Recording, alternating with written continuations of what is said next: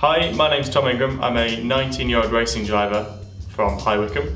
I'm racing in a Ginetta G55 this season with JHR Developments, going into my second season and fingers crossed we're going to be going for, a, uh, for our third championship title.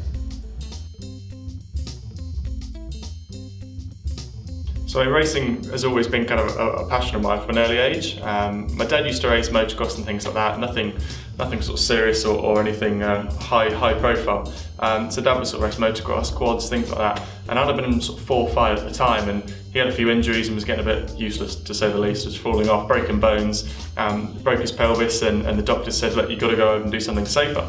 So he went across and did karting, and again, I was about five at the time and would be following dad around, just watching him go around. And um, you know, when you do that sort of age, your kart's in the garage, I'm pretending to drive it as you do, making all the noises.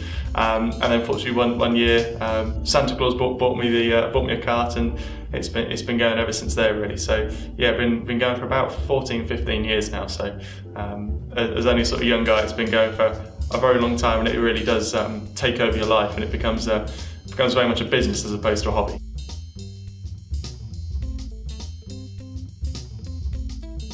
I think, as I say, because motorsport is such a passion, it is such a passion of mine.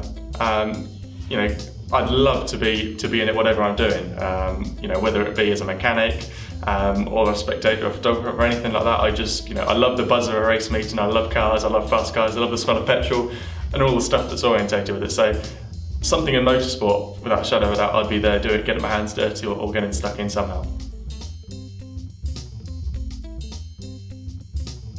Um, it's, it's a fair amount. It's a lot of people um, perceive to be sat in the seat, turning a steering wheel, pressing some pedals, and it's so far beyond that you'll never believe. It's um, some of the cars you drive are really physical, some of them aren't so much. But you train yourself to be the fittest you possibly can, um, whether that be for racing in Dubai when it can be 38, 39, 40 degrees or something, to when it can be a, a rainy Snetterton at about two degrees. They're completely different variables. When you've got the heat, you've got the humidity, you've got the sweat, you've got you know all the action going in the car. But when it's cold and wet, you've then got to have wet weather driving, and it's adapting not only your brain but also your, your, yourself to coping with those conditions. Um, and it's a massive thing that people don't realise. There's so much more that goes into it simple things, vision. Vision's a massive thing.